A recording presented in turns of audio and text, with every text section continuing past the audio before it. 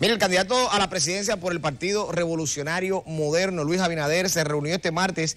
con la presidenta del Colegio Dominicano de Bioanalistas, eh, Santa Ventura, y otros dirigentes del gremio con quienes sociabilizó sobre su plan de trabajo a propósito de la pandemia del COVID-19. Abinader visitó luego el Palacio de la Policía Nacional, en cuya explanada frontal entregó medicamentos, mascarillas, raciones alimentarias y otras provisiones al general eh, Licurgo Yunes y al vocero de la Policía Nacional, el coronel Frank Félix Durán.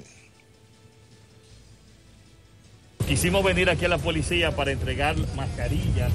para que nuestros agentes del orden estén protegidos, esos agentes del orden que son hoy héroes que están en la calle que están protegiéndonos, que están controlando la situación.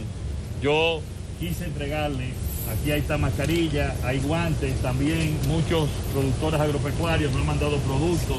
también para que los ayuden para sus casas. A la directiva del PRM y en su persona, al licenciado Luis Abinader Corona, por este gesto que nos va a servir a nosotros para continuar en nuestra labor que tenemos de prevención y de hacinamiento eh, con los toques de queda y con las diferentes medidas que ha adoptado el gobierno para mantener bajo seguridad a nuestra aprobación.